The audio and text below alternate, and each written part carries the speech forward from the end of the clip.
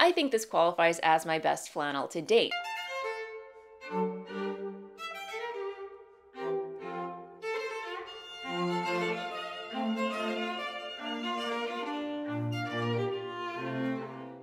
Everyone, welcome back to my channel. I'm Kristin, and if you're new here, I sit down every week and share what I've been making, primarily knitting. There's been lots of quilting and garment sewing, uh, and you know, I do have a tendency to dive down lots of crafty rabbit holes because I, I must make all the things. If that is your jam, grab a cup of something and let's get into things. Uh, yeah, and I've got a new coffee mug this week, guys, that I'm very, very, very excited about. Uh, not sponsored by this brand, by the way, just to put it out there, but ever since I moved out to the suburbs, I feel like I've developed an addiction to places like Marshalls and Home Goods. it's like I can't stay away, and I end up picking stuff up like this. I mean, the purple, the black speckles, it just spoke to my my gothic soul on so many levels. So home home it came with me. Plus I like it because it keeps my coffee warm. Lately I've noticed in the morning when I make my coffee, I make the coffee I put it on my desk and then I completely forget about it because I'm running around doing a million other things. And then by the time I come back to my desk and sit down, it's cold. So this, I think, will come in handy. Uh, but anyway, I digress as usual. Uh, as far as any announcements are concerned, before I get into the nitty gritty of things, uh, the holidays are upon us. So that means that Kristin is going to need a little time off. So I haven't really blocked out any official time, but I'm thinking that half of the week leading up to Christmas and the week after towards New Year's, I'm going to just block that time out for myself and take a break. So if you do not see me pop up on your YouTube feed, do not worry, all is well. I'm just I'm just taking some time for myself.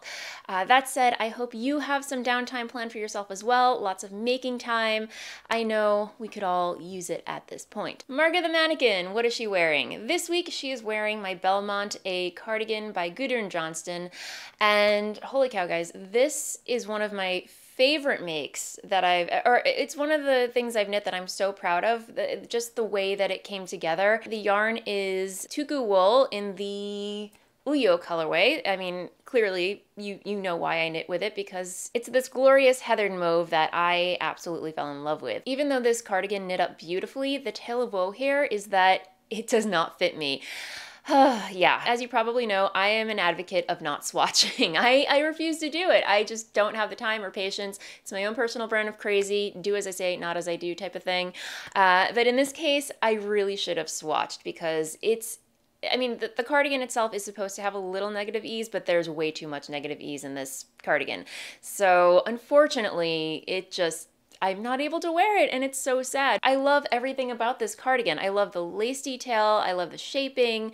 Um, I even, I even used some very special buttons that a lovely viewer gifted to me when I went, when I visited the Edinburgh Yarn Festival. And yeah, it's, I just wish I could wear it. So I'm thinking that in the new year, I may endeavor to make a new Belmont cardigan. And this time I will, I will swatch. Or do I need to? Maybe I just make it two sizes larger.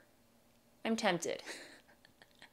oh my goodness. See guys it's like yeah I'm, I'm i'm i'm asking for trouble here. Moving along to works in progress i have been making a lot of progress on my Kahlua cardigan by Thea Colman and it's living in my project bag by Katydid uh, i absolutely guys this bag this bag is everything. Katie if you're watching i you know love it love it so much. But yes my my Kahlua cardigan is living in here and I think where was I on it the last time I showed you?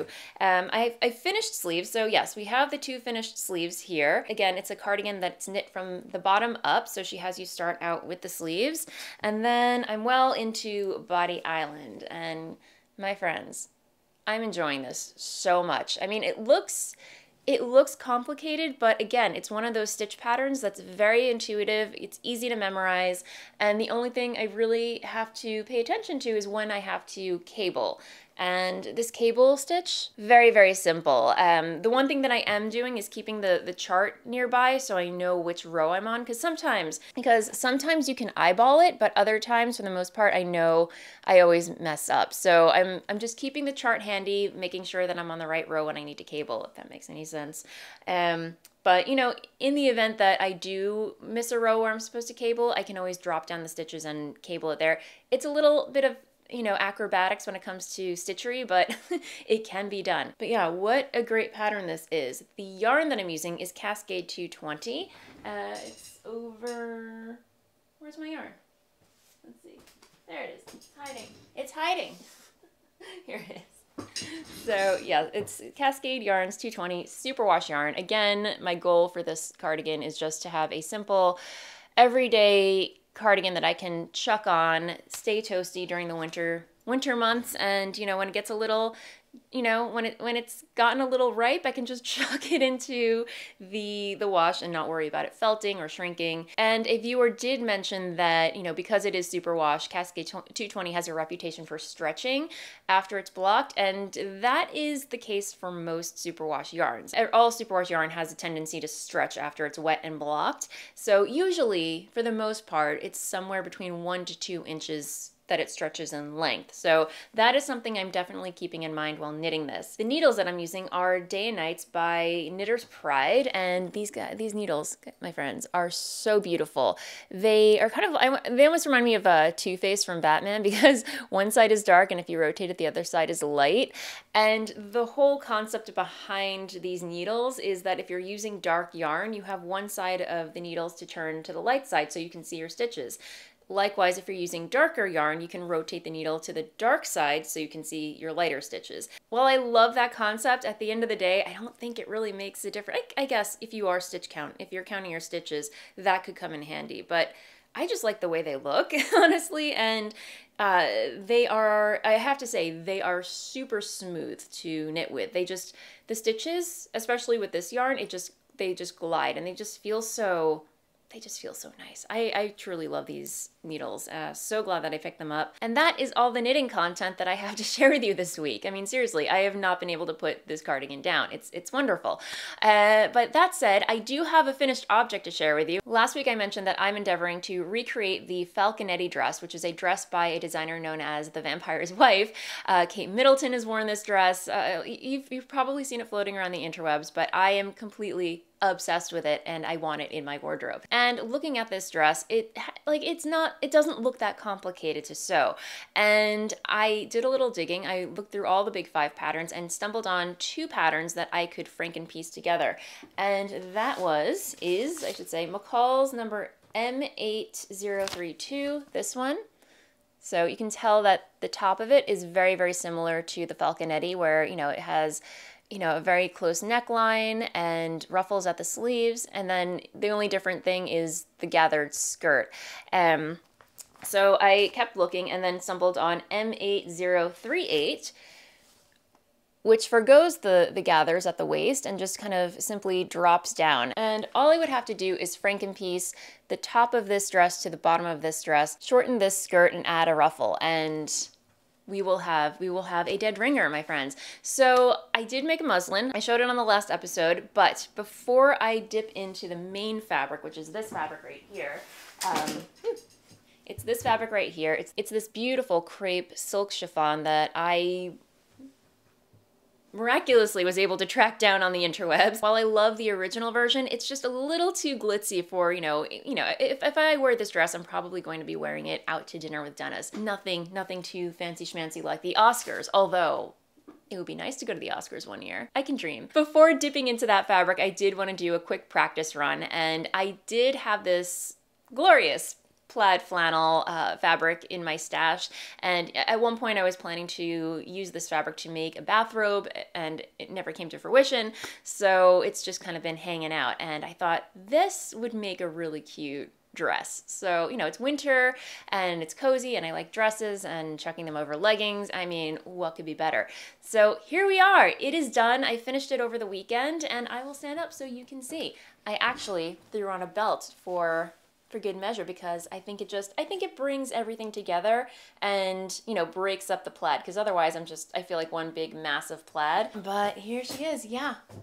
I will turn around and holy cow guys, like I said, it fits like a glove.